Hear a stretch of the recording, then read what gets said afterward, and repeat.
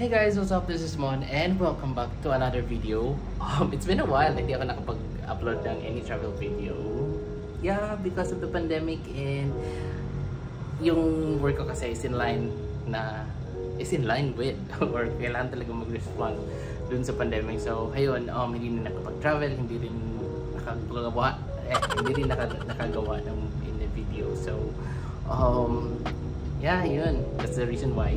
So anyway, um, I'm here right now in Zamboanga City. It's my first time actually here. Uh, pero dumating ako mga around 6pm na ng gabi. So hindi na ako napaglipot sa, sa city mismo.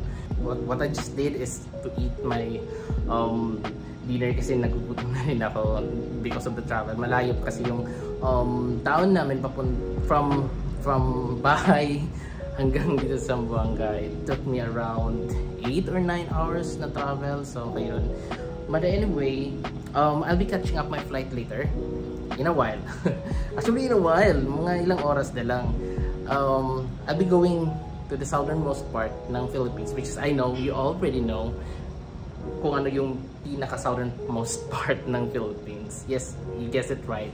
It's Tawe-Tawe. So, ayun, samahan nyo ako and let's go and Let's have some fun.